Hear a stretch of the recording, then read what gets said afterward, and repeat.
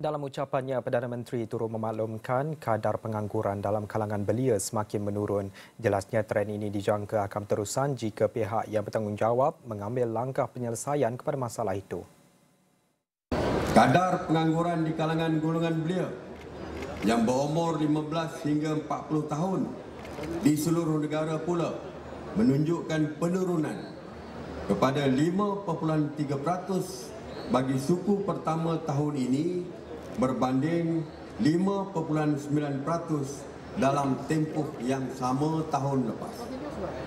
Ini menjadikan bilangan penganggur pada suku pertama tahun ini seramai 585,000 berbanding 627,000 orang bagi tempoh yang sama tahun lepas. Jumlah ini dijangka terus menurun sekiranya kita mengambil tahu dan mengambil peduli pelbagai inisiatif serta program yang tersedia untuk golongan beliau.